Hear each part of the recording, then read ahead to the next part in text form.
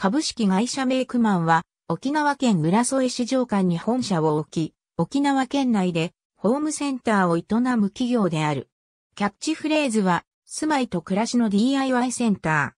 ー。1975年に名護鉄工所の小売部門として浦添市場館にメイクマン1号店となる浦添店が開店。翌年に名護鉄工所から分離し、株式会社メイクマンが設立された。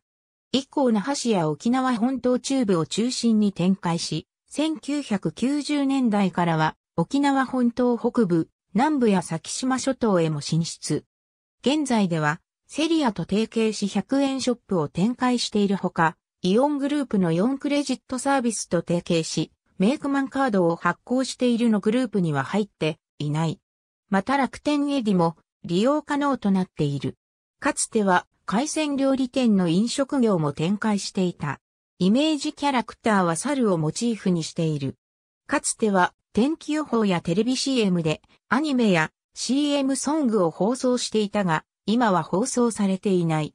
CM ソングであるメイクマンの歌は、リンケンバンドのリーダーであるテルヤ・リンケンが作詞、作曲をしている。週末前後にとことん特化祭が行われている。